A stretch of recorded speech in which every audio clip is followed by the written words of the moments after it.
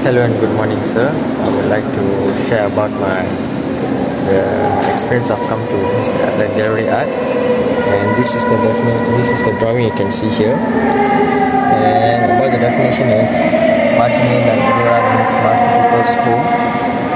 And that's the story of the country around the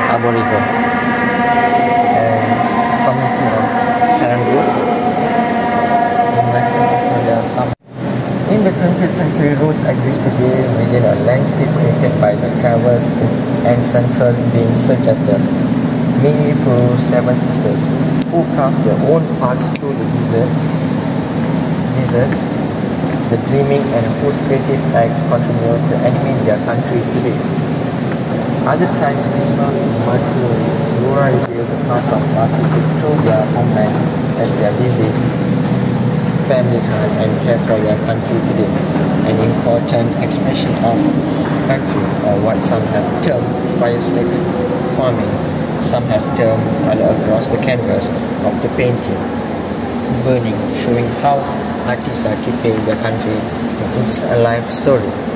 And this is the painting you can see sir, again I show again.